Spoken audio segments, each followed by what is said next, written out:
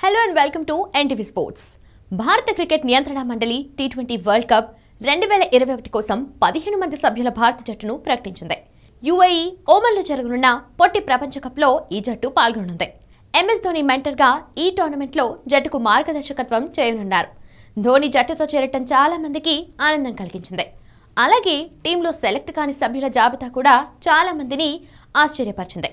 అందులో ముఖ్యమైన ప్లేయర్ శిఖర్ ధావన్.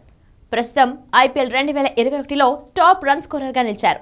ఎనిమిది మ్యాచ్ల్లో యాభై నాలుగు పాయింట్ రెండు ఎనిమిది సగటుతో మూడు వందల ఎనభై పరుగులు సాధించారు.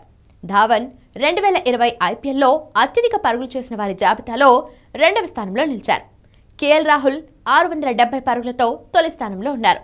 ధవన్ రెండు సెంచరీలు నాలుగు అర్ధ సెంచరీలతో సహా నలభై నాలుగు పాయింట్ ఒకటి నాలుగు సగటుతో ఆరు వందల పద్దెనిమిది పరుగులు బాధేశారు ఇటీవల శ్రీలంకతో జరిగిన పరిమిత ఓవర్ల పర్యటనలో భారతదేశానికి నాయకత్వం కూడా వహించారు. టీమిండియా వన్డేల్లో రెండు ఒకటి విజయాన్ని నమోదు చేసింది. టీ ట్వంటీలో ఒకటి రెండు తేడాతో ఓడిపోయింది. అయితే ఈ రెండు మ్యాచ్లకు కీలక ప్లేయర్లు అందుబాటులో లేరు.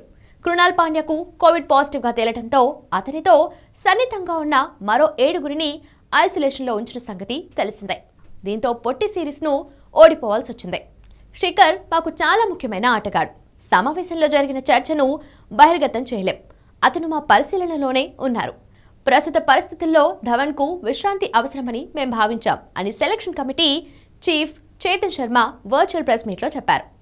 జట్టు ఓపెనింగ్ పైర్పై శర్మ మాట్లాడుతూ రోహిత్ శర్మ కేఎల్ రాహుల్తో పాటు ఇషాన్ కిషన్ ఓపెనింగ్ చేసేందుకు సిద్ధంగా ఉంటారు. ఒకవేళ టీమిండియా కెప్టెన్ విరాట్ కోహ్లీ ఓపెనర్గా రావాలని మేనేజ్మెంట్ కోరుకుంటే చెప్పలేం. ముఖ్యంగా ఈ ఏడాది ప్రారంభంలో అహ్మదాబాద్లో ఇంగ్లాండ్తో జరిగిన టీ ట్వంటీ సిరీస్లో కోహ్లీ రోహిత్ శర్మతో కలిసి ఓపెనర్గా బరిలోకి దిగారు. టీ ట్వంటీ వరల్డ్ కప్ కోసం మరోసారి అలాంటి పాత్ర పోషిస్తే మంచిదే అంటూ వివరించారు. Selection committee chief Chetan Sharma ధవన్ను select చేయకపోవడంపై ఖచ్చితమైన కారణాన్ని పేర్కొనలేదు. అయితే ధవన్ మాత్రం మా పరిశీలనలోనే ఉన్నారని చెప్పుకొచ్చారు.